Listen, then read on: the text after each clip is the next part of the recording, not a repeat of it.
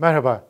Bugün sizinle yıllar önce Bir Yudum Hikaye yayınlarına başladığımızda hikayelerini okuduğum Cüneyt Suavi Bey'den bir hikaye aktaracağım. Kısa hikayemizin adı Ana Kuzusu. Bir Yudum Hikaye başlıyor.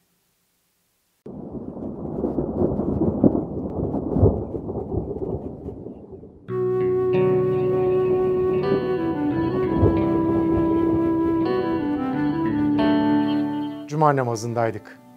Sağ tarafımda yaşlı bir adam, onun sağındaysa tek kişilik boş bir yer vardı.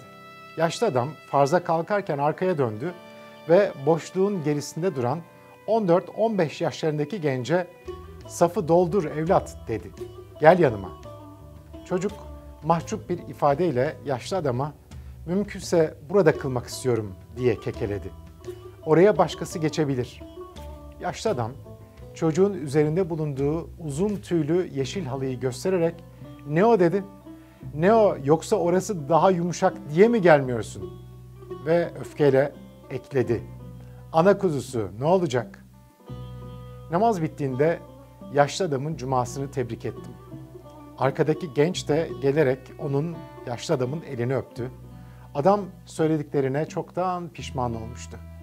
Delikanlının nurlu yanaklarını okşarken sana ana kuzusu dediğim için kusura bakma yavrum dedi. Bir anda, bir anda ağzımdan kaçtı işte. Çocuğun gözleri dolu doluydu. Başını öne eğdi. Bu söylediklerinizde haklısınız efendim dedi.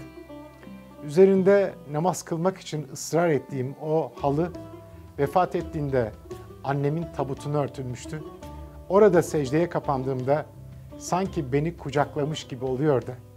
Onun için orada kılmak istedim. Hoşçakalın efendim.